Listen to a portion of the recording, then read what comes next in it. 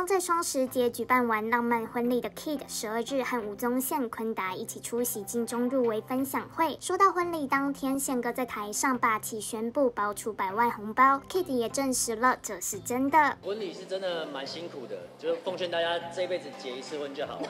然后大家最关注的宪哥的红包到底有没有到？又来跟大家报告，来来，一定是不会让你失望真。的收到了。哇塞！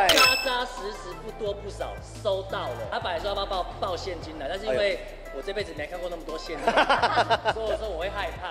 哎呦喂于是宪哥就用了另外一种方式，就是支票。哎呦哇塞！然后我隔天十二点退房，不到一点我就马上去嘎表。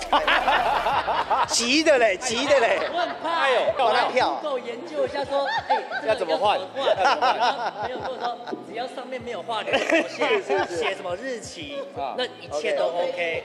然后现在那个昨天直直接去银行，柜员跟我说。这张没问题，我拿那张纸真的压力超大的，我就觉得每个人都要跟我抢，因为每个人都知道我身上有一张。